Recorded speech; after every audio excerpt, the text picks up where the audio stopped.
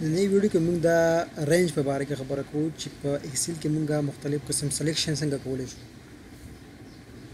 چې کله زه په دې سیل باندې کلیک وکم نو تاسو وګورئ چې د سیب دا یو سیل سلیکټ شو صحیح شو اوس ما سره ملټیپل سیل دي او زه وایم چې ما سره دا سیل هم سلیکټ شي او دا سیل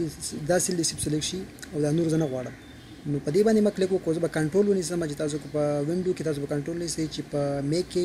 تاسو به هغه نیسئ کمانډ نیسئ صحیح ده نو ما کنټرول ونيو زه په دې باندې ما کليک کو دا زما سره سليک شو که خيال کوئ وس دلته يو ويلو زما سره ځم چې دا هم سليک کوم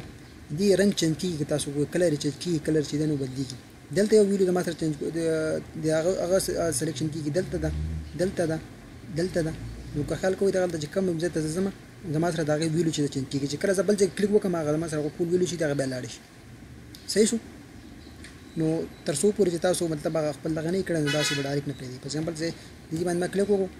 بیا دې ځای باندې ما وکړو بیا دې سلیکشن ما وکړو بیا دې ځای سلیکشن ما وکړو بیا دې ځای سلیکشن ما وکړو اوس چې ته سب اپریشن پرفارم کړې نو هغه به ته کولی شي صحیح شو و دې نه بعد زه راځم راځم چې ما ته را زه رو سلیکټ کوم دا غونډه رو زه سلیکټ کوم تاسو ما ویلي مخکې ویډیو کې دې سره ستا غونډه روټ چې دا تاسو ته لیکل مطلب تا خپل د دې روټ کې تر چې تاسو سره د دې هډینګ چینج کې یا سره څه پیسو سره کې دې طریقې سره کولای شي دغه شان ته چې زه دا کالم سره کوم نو دې طریقې سره دا کم کړه چې راخه شې سمه غیر راځي ته په دې باندې کلیک وکړې نو تاسو سره ټول کالم چې دې تاسو سره سلیکټ شو ها ته وی چې نه زه د دې کار کوم چې دا ټول سپریډ شیټ زما سره چې کوم دی په دا ټول زه سلیکټ کوم نو دا ساين چې کوم دی دا دی خوانه دا هغه بشان دی باندې ته کلیک وکړي تاسو سره دا ټول شیټ چې دی دا سره دا سلیکټ شو صحیح شو بیا نور طریقې هم دي چې لیفټ مطلب ته چې دا ویلو نه زنه سلیکټ کوم او هغه سلیکټ کوم هغه بیا بعد کې پای باندې یو خبر کو چې موږ باټم ویلو یا منځ کې چې کوم ویلو دا څنګه د سلیکشن نه موږ چې دا مسلټ کوو نور ویلو سلیکټ کوو